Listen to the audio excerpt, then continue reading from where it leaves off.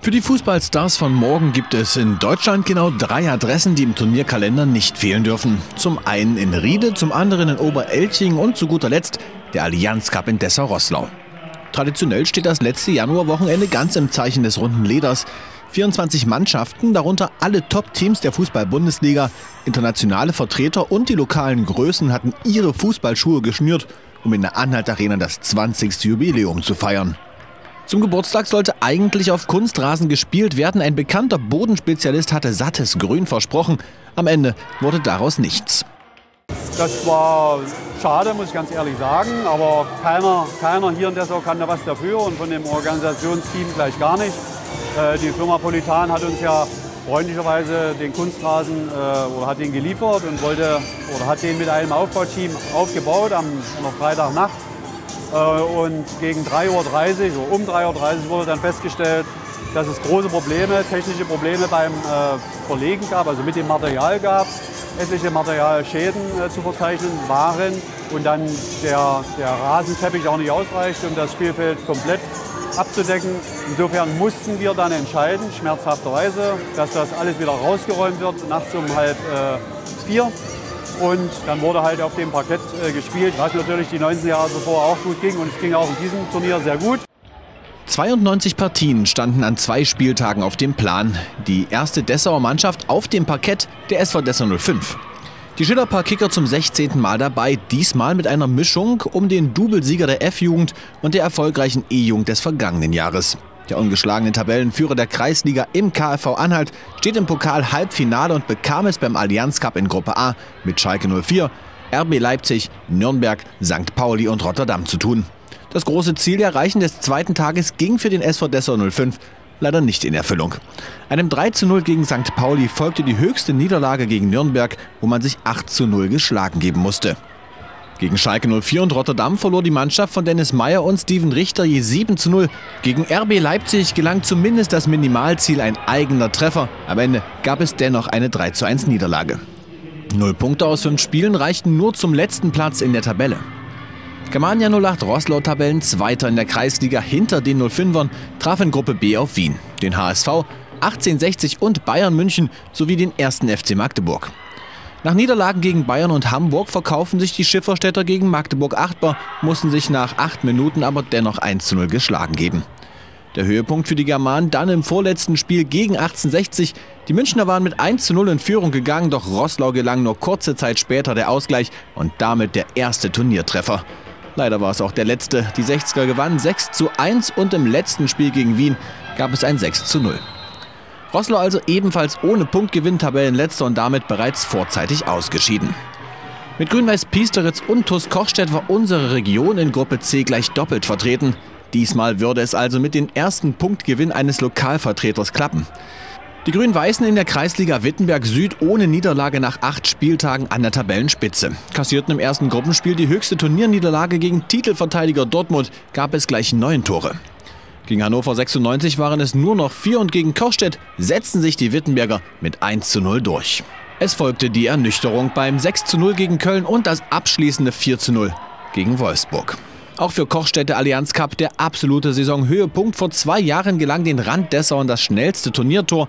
Im letzten Jahr stellte die TUS-Auswahl den besten Regionalspieler. Doch ein Torerfolg sollte den Kochstädtern diesmal verwehrt bleiben. 29 Mal klingelte es im TUS Kasten, Köln schenkte 8 Tore ein, Wolfsburg 5, Piesteritz wie bereits erwähnt ein Tor, Hannover 6 und Titelverteidiger Dortmund wie schon gegen Piesteritz 9. Somit reichte es auch in Gruppe C für beide regionale Mannschaften nicht zum Weiterkommen. Die Hoffnung ruhten jetzt auf dem Nachwuchs des Dessauer SV 97. Seit 14 Jahren beim Allianz Cup dabei ist allein die Tatsache, gegen die großen Clubs zu spielen, Ansporn genug. Stuttgart, Eintracht Frankfurt, Hertha, HFC und Slavia Prag die Gegner. Nach zwei Spielen hatten die Jungs von den Kienfichten bereits 14 Gegentreffer kassiert, sieben von Hertha und sieben von Frankfurt. Dafür gab es aber auch schon den ersten eigenen Treffer gegen die Eintracht. Auch gegen Slavia Prag traf der DSV und machte im regionalen Vergleich damit die meisten Turniertore. Zum Sieg sollte es aber auch hier nicht reichen. Am Ende gab es wie so oft den letzten Gruppenplatz und das Aus in der Vorrunde. Am Sonntag folgte die Finalrunde und die Endspiele im Titelkampf. RB Leipzig schaltete hier Seriensieger Dortmund aus, musste sich dann nach Verlängerung aber Hertha BSC geschlagen geben. Nürnberg besiegte St. Pauli in der Verlängerung, unterlag dann aber dem ersten FC Köln. Im Spiel um Platz 3 lieferten sich Nürnberg und Leipzig einen wahren 9 Meter Krimi mit allem, was dazugehört. Toren, Paraden und Aluminiumtreffern. Das glücklichere Ende für die Leipziger. Sie sicherten sich den dritten Tabellenplatz. Im Finale der erste FC Köln und Hertha BSC. Kölns Turniersieg liegt bereits sieben Jahre zurück. Die Hertha konnte 2009 und 2010 gewinnen. Die Geißböcke ließen keinen Zweifel daran, wer den Pott in diesem Jahr mit nach Hause nehmen würde. Nach neun Minuten führte Köln bereits 2 zu 0, dann ging es Schlag auf Schlag. Auf das dritte Tor reagierte Hertha postwendend, um dann im Gegenzug das vierte zu bekommen. Den Treffer zum 5 zu 1 Endstand besorgte der neue Titelträger dann sogar mit dem Kopf. Pokale gab es in diesem Jahr aber nicht nur für die Sieger. Jeder einzelne Spieler und Betreuer konnte sich über eine Erinnerung an die Jubiläumsauflage des Allianz Cup freuen. 292 Trophäen hatte das Sportamt bestellt. Erstmals wurden auch zwei All-Star-Mannschaften gewählt, eine mit den besten Spielern des Turniers und eine mit den besten regionalen Fußballkids.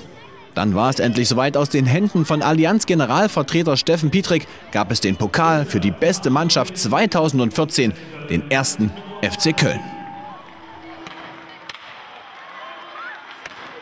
Ja, es macht natürlich riesen Spaß, auf so ein Turnier zu fahren, auch wenn es über äh, fünf Stunden Fahrt waren, die, hier, ähm, die wir gebraucht haben, um hier hinzukommen.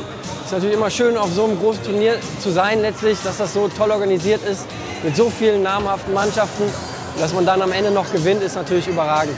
Ja, man muss eigentlich sagen, dass wir gestern einen extrem schlechten Tag hatten. Wir hatten auch eine kleine Schwierigkeit mit der Mannschaft, kleine Reibereien. Und am zweiten Tag hat sich das dann schlagartig gebessert und die Mannschaft hat sich letztlich in einer Art Flow gespielt. Und da brauchte man als Trainer fast gar nichts mehr sagen. Das hat einfach die Mannschaft sehr gut umgesetzt alles und deswegen Riesenlob an die Mannschaft. Mit welchem Gefühl fährt man jetzt wieder nach Hause? Ja, mit einem ähm, Sieg am Ende ist es natürlich viel leichter, fünf Stunden zurückzufahren als äh, mit einer Niederlage. Ähm, so nimmt man das immer gerne in Kauf, so ein, auch ein Riesenaufwand, sowohl die Kids als auch die Trainer. Ähm, das ist dann schon viel schöner so. Dann kann man sich auch das über das ganze Wochenende freuen. Ich höre da hinten gerade Jubel. Wie haben denn äh, die Kleinen das Turnier aufgenommen? Ja, ich glaube, die haben sich sehr wohl gefühlt. Die wurden sehr schön von den Gasteltern ähm, aufgenommen und gepflegt und waren ja zwei Tage bei den Gasteltern. Auch das ganze Turnier an sich hat ihnen Spaß gemacht aufgrund der guten Organisation. Wie gesagt, sie können auch nur gut Fußball spielen, wenn, äh, wenn die Rahmenbedingungen stimmen und die haben gestimmt. Ich glaube, denen hat es allen riesen Spaß gemacht. Darf ich noch eines loswerden? Ähm, ich wollte noch einmal sagen, das ist ein Riesendank an die Eltern, die während des Turniers eine ähm, spätere Abreise organisiert haben, weil wir eigentlich unseren Zug um, fünf, äh, um 10 nach 3 hätten nehmen müssen. Haben jetzt noch mal extra ein Auto angemietet auf Kosten der Eltern. Mal gucken, dass wir das wahrscheinlich vom dann FC übernehmen können.